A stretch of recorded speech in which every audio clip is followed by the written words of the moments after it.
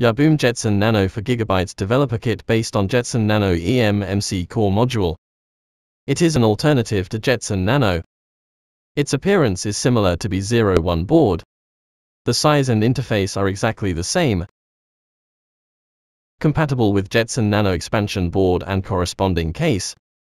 Support to channel CSI camera, DisplayPort, and HDMI interface on board to channel USB 3.0 and network port interface.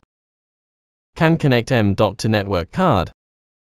It comes with color 4 0-pin GPIO interface. It can replace the Jetson Nano, in terms of function, interface and size.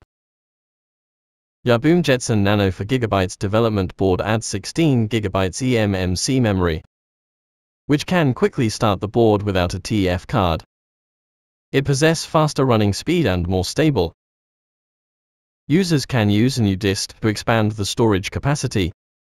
Due to Jetson Nano, production reduction and out of stock. The current alternative kit are made of Jetson Nano eMMC core modules. Compared with Jetson Nano use TF card to boot, these alternative kit uses eMMC to boot by default. If the alternative kit is connected to an external storage device, users needs to manually set an external boot disk for expansion.